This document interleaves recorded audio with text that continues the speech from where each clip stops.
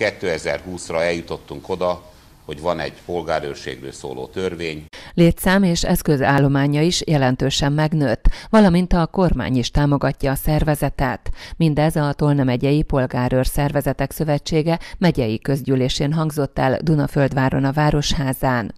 A rendezvényen dr. Túros András országos elnök ékszer doboznak nevezte Tolna megyét, ahol 1820 önkéntes szolgál. 63 ezer polgárőr van Magyarországon, 2 ezer polgárőr egyesületben, és erre én személy szerint is büszke vagyok, hogy így sikerült megőrizni a polgárőrségnek a létszámat. A jövőben fiatalításra van szükség a szervezetnél, ezért ifjú polgárőr mozgalmat indítottak, melynek keretében jelenleg 2000 fiatal tevékenykedik.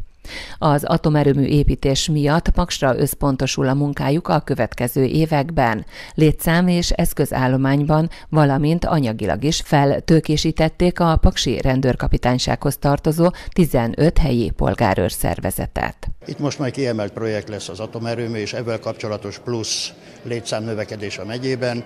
Azt gondolom, hogy a polgárőrség segítve a rendőrség munkáját, elsődlegesen stratégiai partnerként az önkormányzatokat.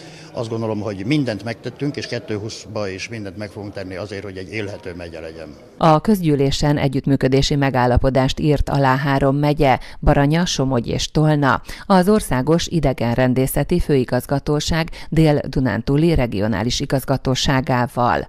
A közgyűlés végén elismeréseket adtak át a megyek kiválóságainak.